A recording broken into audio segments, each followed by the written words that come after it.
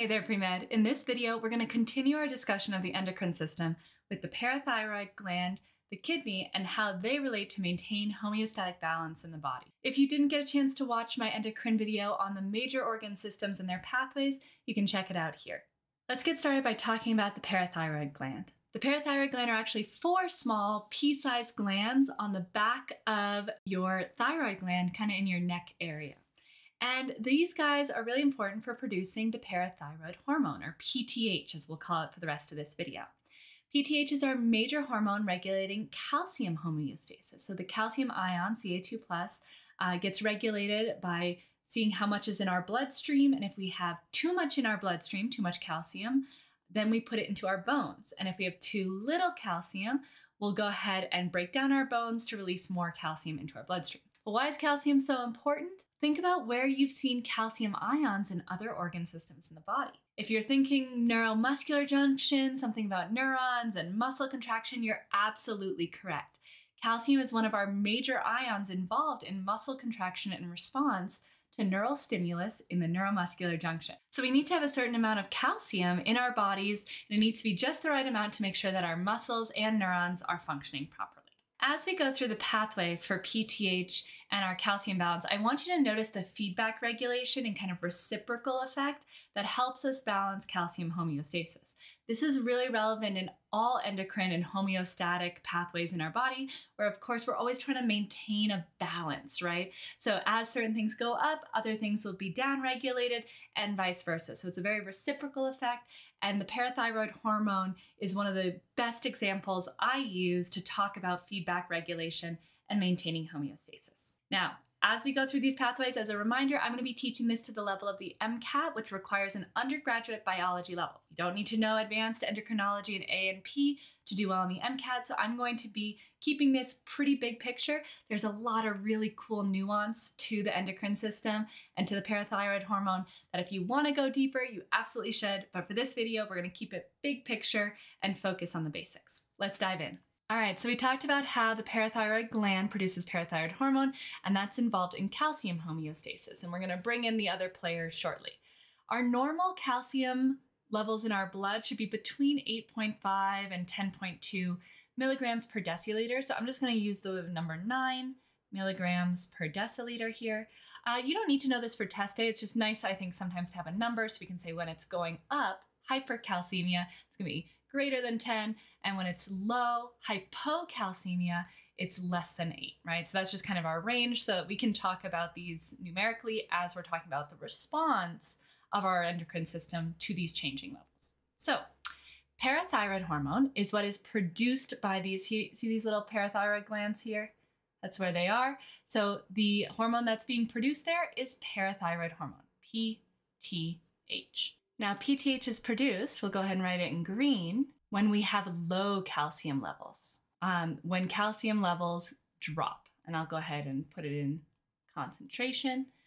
Calcium levels are low. So, like, let's say below 8 milligrams per deciliter, just to again have a number here. So, our body recognizes um, we're like, whoa, we're checking our blood and we have too low blood calcium. Our parathyroid gland's like, okay, time to release our PTH. PTH is a peptide hormone. Right, so it's going to bind to receptors and have second messenger signals. Um, and so it's going to have a couple different actions. But our goal, right, the goal for PTH is to increase calcium levels. That's just a nice thing to think about, right? It's like, all right, this is what we're trying to do. And it does this in a couple different ways. The first way is it goes to the bones, all right? So the bones are where we store calcium. You probably know this, right? Calcium is involved in our bone matrix and it's kind of like our storage, right? Our, our vault, our bank for extra calcium. So sure, it's necessary for building bones, but actually one of our primary reasons for keeping calcium in our bones, in our skeletal system, is to store it in case we need more calcium in our blood. Because oftentimes by the time we need that calcium in our blood, we can't like consume more calcium. It's too late for us, right? Muscles and neurons move very quickly in terms of their needs. So we need to have an internal storage of calcium, and that's our bones. So, what PTH will do is it'll interact with our bones. Specifically, we have two types of cells in our bones osteoblasts build bones, right? Build bone, and osteoclasts break down bone. So, if our storage is in our bones, what do you think we need to do? We probably need to break down the bones, right? So, the end result of PTH, increased PTH, is increased osteoclast activity.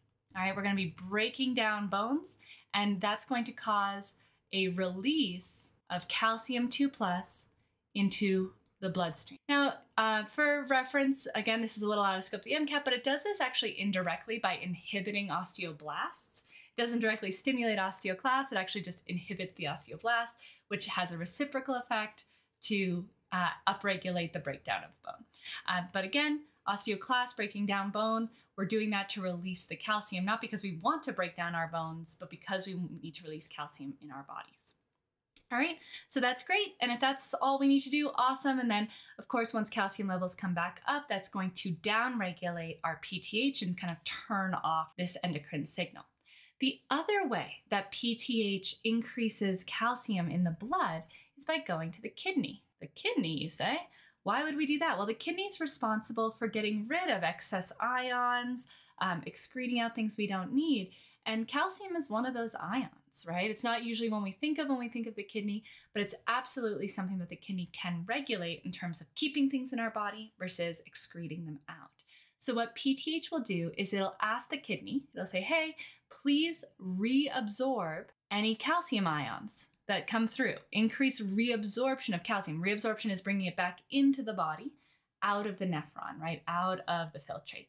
So it allows uh, the kidney to help reabsorb the calcium so that we excrete less of it, right? So you could also think about it as decreased excretion of calcium 2 plus both of those synonymous with what's happening there. In addition to directly reabsorbing calcium, the kidney also does something funky, which is that it can activate vitamin D from its inactive form. So the inactive form of vitamin D is vitamin D3, and the active form is called calcitriol.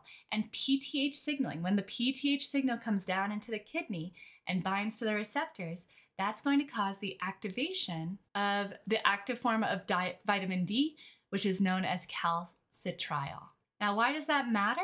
Because, here I'll go ahead and highlight it in a different color so we can move it over. Calcitriol, or again, activated vitamin D, helps us absorb calcium in the small intestine when we eat it in food. It's pretty cool, right? So, PTH kind of does this immediate action where it says, hey, bones, release calcium into the bloodstream, but also, hey, kidney, do not excrete the calcium. Make sure that we keep that in our bodies and also, can you produce some activated vitamin D? So, as we consume calcium, it helps us absorb that calcium from our food into our bloodstream from the small intestine.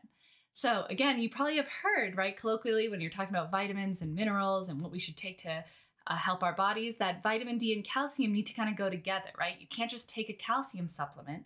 You also need enough vitamin D to help you absorb that calcium. Helps build strong bones. Why? Because we have plenty of calcium in the bloodstream, and then we can signal our bones to actually build instead of having to be broken down to produce more blood calcium. Pretty cool, right? A lot of our basic personal health makes a lot more sense once we've studied the endocrine system. We've now talked about what happens when our blood calcium levels are too low. Before we get into what happens when our blood calcium levels are too high, I'm Amanda Brem and I've been coaching students on their pre-med journeys since 2019. Please remember to subscribe to this channel for more videos on MCAT content, test taking strategy, and mental fitness tips to help you perform your best on testing. And if you'd like more lessons on topics like this, including personal interaction, study planning, and individualized support throughout your MCAT journey, please go ahead and check out our next available course in the caption below. All right, so what happens in our body if our blood calcium levels get too high, like greater than 10 milligrams per deciliter, so like 15 or 20? Well, our body reads that and says, whoa, calcium levels are too high. We got to drop those down because it's very important to maintain just the right level of calcium in our bodies. The way we do this is we actually use our thyroid gland, and our thyroid gland releases a hormone called calcitonin. Calcitonin is our reciprocal hormone to PTH. So PTH does all of these things to increase blood calcium in the blood. Calcitonin will have the opposite action to decrease. So calcitonin is released when CA2 plus levels are too high, right? And our goal is to decrease blood calcium levels. right? It's always nice to kind of keep that organized in your notes.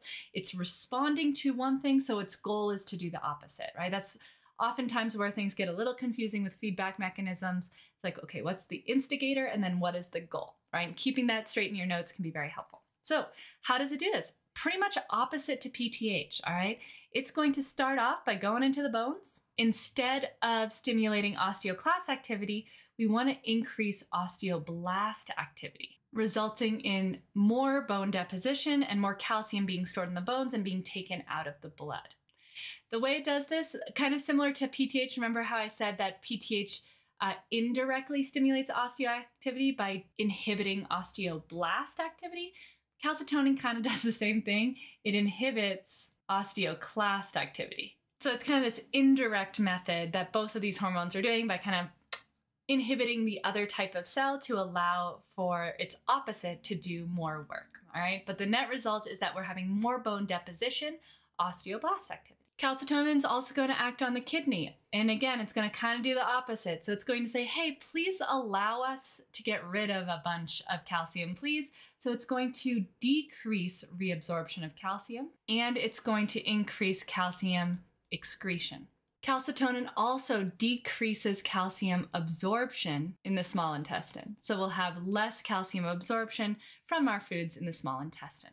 So our net result of calcitonin production, calcitonin release into the bloodstream, is to decrease serum calcium levels, whereas the net result of PTH release by the parathyroid gland is to increase serum calcium levels. So they have opposite effects, which means as PTH is circulating, it's inhibiting calcitonin release. And as calcitonin is circulating, it's inhibiting PTH release. These are reciprocal hormones, so one level is going to be opposite the Now, as always, it's nice to think about the clinical applications of this pathway. One of the major chronic issues in aging patients is osteoporosis or a breakdown of bone. So you can imagine the types of therapeutic techniques in terms of regulating this system that we could do to control for the breakdown of bone. We might want to give them more calcitonin, right? Calcitonin and excess calcium and vitamin D to provide tons of calcium available to stimulate those osteoblasts to build up more bone. So in fact, that is one of our treatments is to utilize hormone supplements to help us build bones and to inhibit the action of PTH. So if you have an osteoporotic patient, you want to decrease their PTH levels and increase their calcitonin levels. That's just one of many clinical applications that you could see for this endocrine system. And the key to understanding those clinical applications is to have the basic rules of the pathway down pat. I hope this video was helpful for you. If it was, please feel free to share it with your pre-med community so we can all help each other reach our pre-med and MCAT goals. Thanks for watching, and as always, happy studying.